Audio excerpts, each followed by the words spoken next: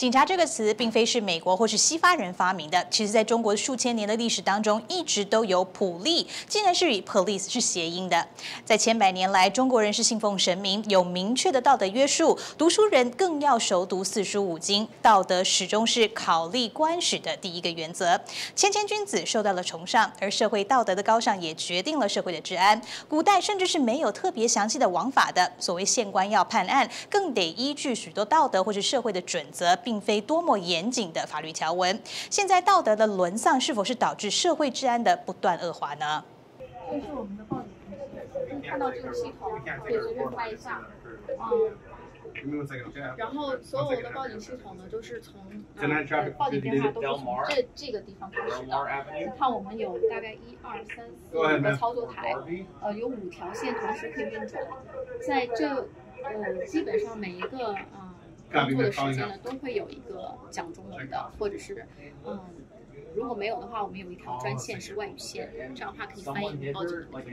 这个是我们这个局的呃标志，呃，我们是 Temple Five，嗯，这些这些警员是为这个局牺牲的，在工作当中牺牲的这些人。在这个会议室，你可以看到每个警员来了以后都要拿一个 In Service，这边会。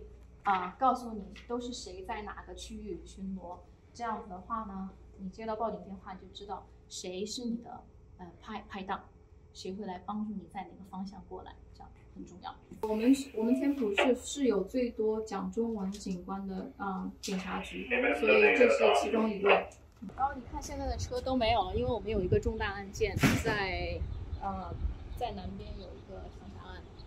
所以基本上所有的车都去都去那个现在在我身边的呢是 Temple City Sheriff Department 的刘警官 Aaron 刘刘警官，我想请教一下您的每一天的 daily routine 大概是什么？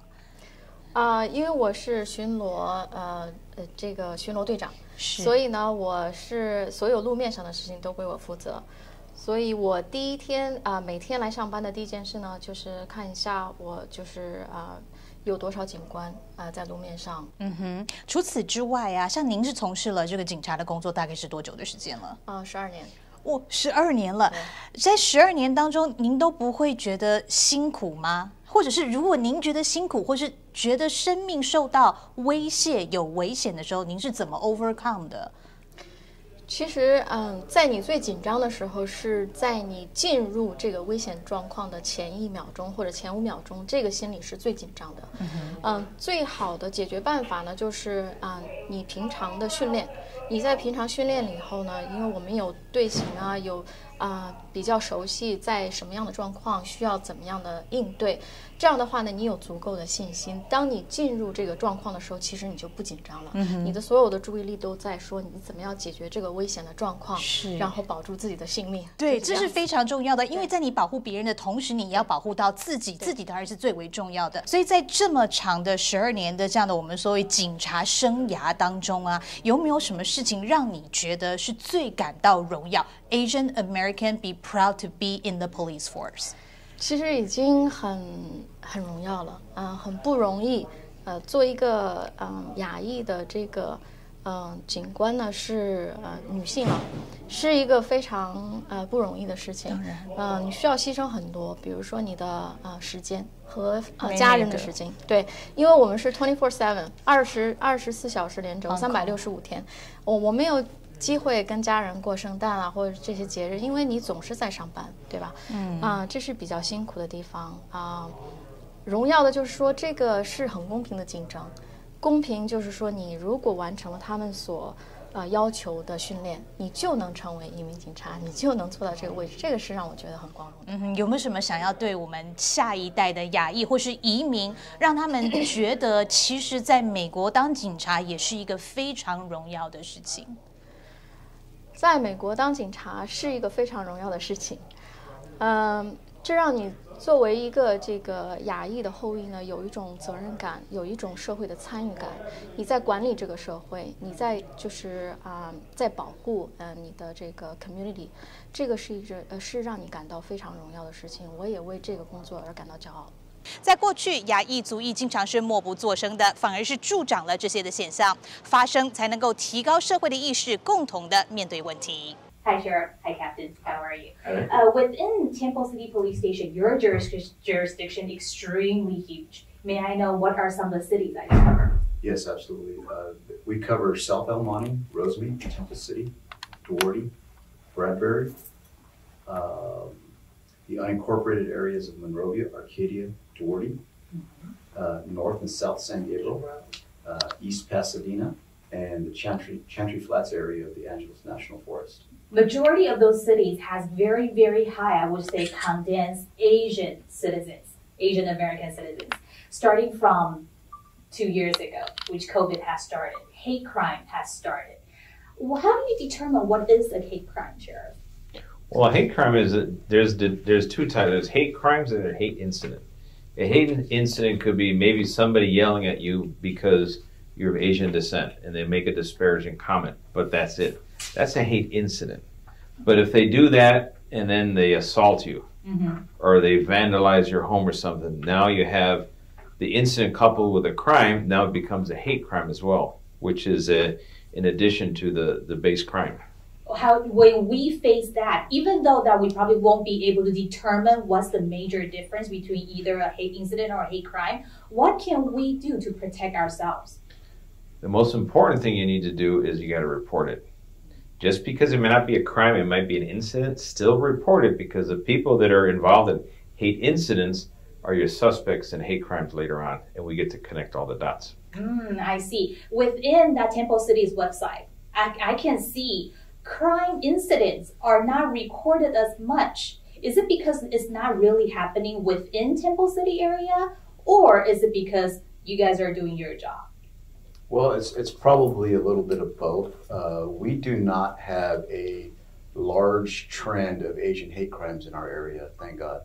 Um, year to date, we've only had one incident, and even at that, this particular case evolved, uh, involved a uh, internet threat from an anonymous source to an Asian business. So um, there's no need to to panic in the area. There's there's it's just not as prevalent as maybe going on somewhere else in other jurisdictions. Mm-hmm. Hate crime or hate incident is not a, I wouldn't say serious. It is a serious issue. However, it's not really happening within Temple City at this moment. What kind of crime that is happening within your jurisdiction? Oh, we have a variety, I'm pretty sure. Um, Yes, uh, so we've got a, a, rise in property crimes is is the biggest rise in my jurisdiction. Burglaries in some of my areas are up as much as 165 percent. Uh, grand theft autos are through the roof, and um, uh, catalytic converter theft is a hot topic right now. So those are the major uh, theft crimes are is really what's what's spiking in my area. Mm-hmm. How do you keep your jurisdiction safe and your citizens safe? Well, there's a lot of things we need to be doing, and one we have to keep pushing the board of supervisors to lift the hiring freeze, so we can hire more people and hire from the community. I need to hire a lot more people of Asian descent that can speak um, Mandarin or Cantonese or can speak Korean, Japanese. We need to hire more in these language in these communities. One thing we're doing, we also have to have more patrol deputies out there, more detectives to solve the crimes that already occurred. There's a lot of things we can do at the station level on the prevention side. Yes, absolutely. And uh, to piggyback off that, uh, we get out into the community and participate in a lot of community engagements, specifically uh, with all of my uh, uh, nationalities that are in our area, but with the Asian community. I just did an event yesterday, mm-hmm. and uh, I encourage the Asian community to really get out there and uh, be in tune with what's happening because uh, a lot of times the Asian community is reluctant to call us for many reasons. What I've come to learn in my uh, year and almost year and a half that I've been here, because they fear maybe we don't speak the language, but we have probably, I don't know the stats, maybe the sheriff knows, I believe I have probably the largest uh, Asian uh, group of Asian deputies at my station who speak a variety of dialects.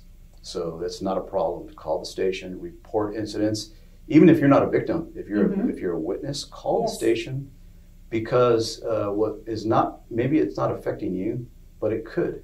It the, could. the So if you- community. Right, you're the Yeah. eyes of the community. We have a large Asian Asian population, Mhm. so we rely on you to be good witnesses. Yeah, we should well. be all a part of community. 停止仇恨亚裔运动出现于二零二一年，旨在谴责二零一九年冠状病毒大流行期间针对美国亚太裔岛民社群的暴力行为。这种谴责在许多的国家都发生了共鸣。在这些国家当中，除了针对亚洲人还有亚裔的暴力行为也在增多当中，其中就包括了致命的攻击、言语还有人身骚扰、校园霸凌、工作场所甚至是歧视，在媒体还有社会媒体平台的传授痛恨，这些都不会是解决之道。只有通过公正、团结、友爱之强，我们才能够赢得这一场反对仇恨的斗争。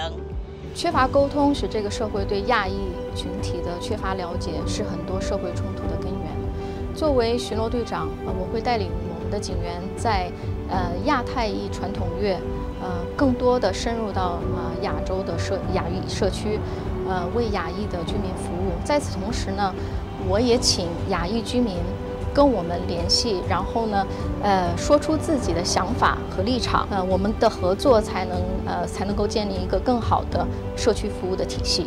And as we know, the month of May is uh, Asian American Pacific Islander uh, Awareness Month.